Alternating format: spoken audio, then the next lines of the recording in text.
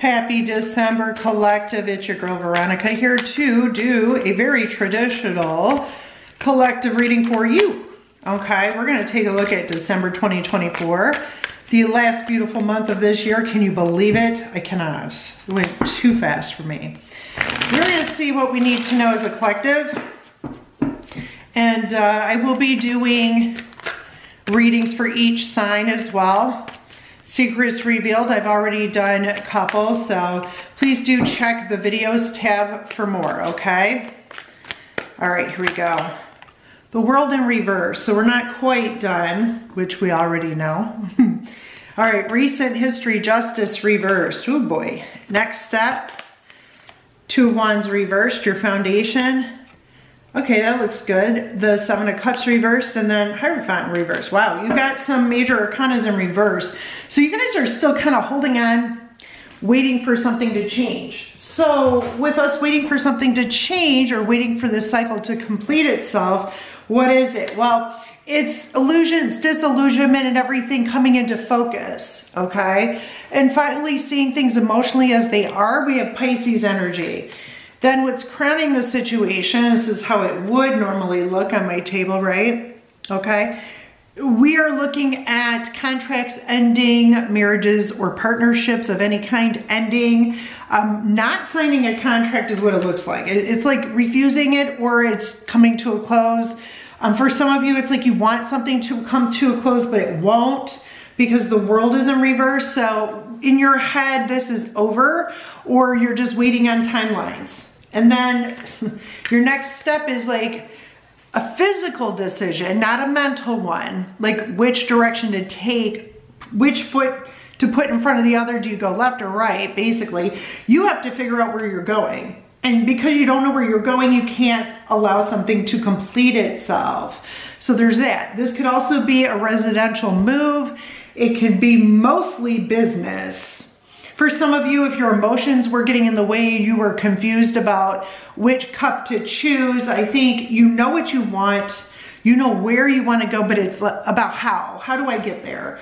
Okay, so we have Libra, Scorpio, Aquarius, Taurus, and um, Leo. Here's Taurus again. So you have Taurus twice. It could also be Taurus season, next year, and Aries. Okay? The water sign is Scorpio or Pisces, heavy on the Scorpio. It's more about that decision that has been plaguing you for a while. Like these two are moving away. So it's not about you being confused anymore. So it's more about waiting for the legalities to kind of complete itself. So again, I think it's a time frame that you guys are waiting on. Let me clarify some stuff for you. So the collective is in fact moving forward, but I think we're wanting to move forward faster than it can happen, okay? Hierophant in reverse. Some of you, it is definitely a job thing.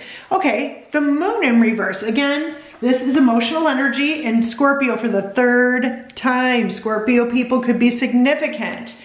Um, we're waiting on something that either happened in Scorpio season to complete itself or dealing with an actual Scorpio for this. Um, enlightenment did come through with the moon, because that's clarifying, it's not future, and the Seven of Cups, which is in your foundation moving into the past. So you already know. That's the answer. You already know that something's over. If anything was being concealed from you in terms of business, contracts, or court cases, that's being revealed really soon, if not already. Oh my God, look at this. As a clarifier to the justice card, this is either gonna be a level up personally, spiritually, emotionally. This is gonna be um, a divorce that's taken a while to finalize. This is going to be a reconciliation. If you were gonna go through a divorce, someone is reconciling with someone. If you're single, then this is gonna be a lot of self-love, a level up spiritually, okay? If you're dealing with a Libra, a Scorpio, a Pisces, and on the back end a Cancer, that could also be true. World reverse, so why are we stuck here? What is this? Uh-huh, because you're not speaking about something. See, there's some sort of truth that's, we're in the process for some of you to have it revealed. Some of you are healing from a, a broken situation. So some of you guys um, maybe got into a fight with someone. Some of you have been not on speaking terms. You've been quiet. Some of you guys are getting ready to speak the truth about how you really feel about something. Uh, once we do, you'll get out of the sleep mode. But yeah, for now, you're you're not on speaking terms with something or someone. The something would be a contract, like maybe you just haven't signed yet. Because a lot of times this can be represented by an ace of swords because it's hidden after heartbreak or pain or something that has been painful for you. If this is a relationship, some of you guys are healing from that, you know, legal connection that has been severed. Okay, show me the two of wands reversed. Where do you go? Well, this is, for some of you, this is gonna be quitting. Quitting the job, getting fired. Um, someone born in August, because this is my Virgo card, I would say you could be dealing with Virgo or a Leo Virgo cusper. So they'd be born in the 20s, you know, 19th, 20th, 21st, 22nd of August they'd be considered both Leo and uh, Virgo. But yeah, look at that. Whew. So some of you guys are like, if you quit your job, if you got fired, if your partner spouse did, if a friend did, it's putting you in a position where you maybe have to speak up about something. This is again for the collective. So let me just kind of do your next step real quick. All right, so let's take a look here. For my collective, what's coming up for December 2024? Hello. For my collective. Okay, High Priestess in reverse, sign of Pisces, recent history. The Hangman reversed, also Pisces, next step. Three of Wands, that's um, Leo, Aries, Sagittarius. And I'm knocking over stuff, sorry. Your foundation here is Temperance, fire, Saggy season, and the moon upright. Okay. Um, this is kind of a contradiction for me. When the high priestess is in reverse, sometimes it means that you're not following your intuition or you're no longer keeping secrets. Because see, what's crowning is secrets. Um, people doing shady shit and you don't want to cover for them anymore. You want to be released from a situation emotionally. Uh, there's strong Pisces coming through, like real heavy three times. We also have Scorpio, Leo, and Sagittarius heavy. Aries can be here if they're born in March, okay? Um, Pisces, it doesn't matter when they're born. This next season, right, um, in December, I feel like because this is in the foundation, we're already here, right? So you've been really patiently waiting for something to get exposed something your intuition has been telling you for a while and you're really close to exposing it yourself if someone else doesn't do it. Because what's in your head here is the moon is knowing this, but what's right after that is exposing it. It can also be just like people thinking you're not intuitive at all about your circumstances, and I think that's not true at all. See, this is another block where you physically can't move forward. So again, I think someone is trying to psychologically screw you over. They're dragging this thing out as long as they can. This again could be your divorce, could be a business contract, um, any kind of partnership whatsoever. I think that someone, it could be you waiting on someone else to get divorced as well. So remember, it is a collective reading. It can go either way. I could be picking up on both sides or multiple sides. Yeah, let me see what we've been waiting on, Temperance. Um, some of you are being protected by a guardian angel. And look at what we get. Again, the Hierophant in reverse. You're waiting on a divorce and a severing of ties. That's what is a broken contract. We're waiting for this. It's already like happened, but you don't know it maybe. Okay, interesting. Okay, if you're a woman, I would say that you've been kind of this is a clarifier, it's not a future predictor. Hiding your emotions, you don't want people to know your shit, or you've got an older female figure, okay? It could be a boss, a friend, an ex-friend, I don't care who it is, it's a feminine energy. Aries, Libra, Scorpio, Pisces, Taurus woman.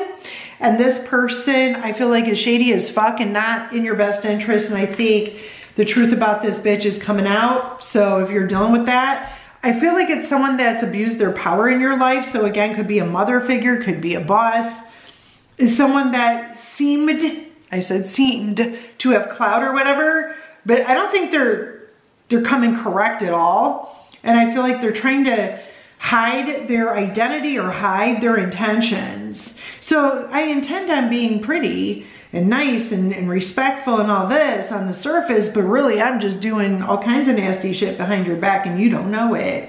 Or this is something someone did in the past. Like I feel like it's old energy. So they did this in the past and like you weren't aware that they were working against you. I think that's all coming out. You probably know now because I don't really see anything happening here. Let me see what this block is physically.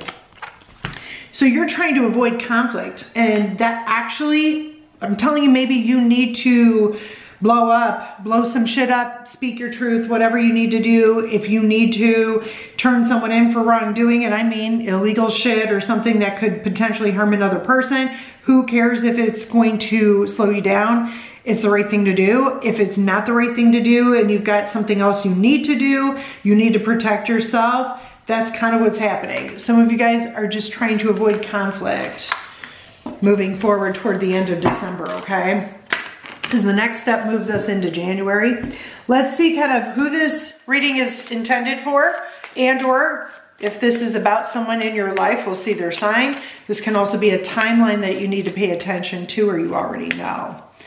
A lot of times these readings, even though they're future tense, um, a lot of times you'll know if it's your story or not, okay? So don't force the messages. Leo, Gemini, Scorpio, and then on the back end, Taurus.